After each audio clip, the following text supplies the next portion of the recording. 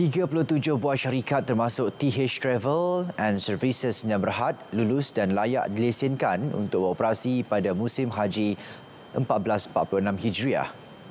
Menteri di Jabatan Perdana Menteri Hal Ehwal Agama berkata kesemua 25 buah syarikat yang beroperasi tahun lalu sekali lagi berjaya mendapat lesen pengelola jemaah haji PJH manakala 12 syarikat lain merupakan ahli baharu.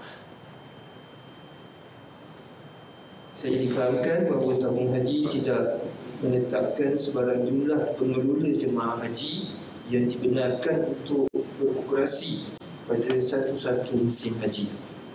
Berdasarkan proses pemilihan, penilaian dan semakan yang dilakukan, saya yakin syarikat-syarikat PJH, PJH yang telah terpilih memiliki kapasiti yang teguh, kepakaran dan pengalaman yang mencukupi serta komited untuk memberikan perkhidmatan terbaik dan menjaga kebajikan jemaah haji Malaysia.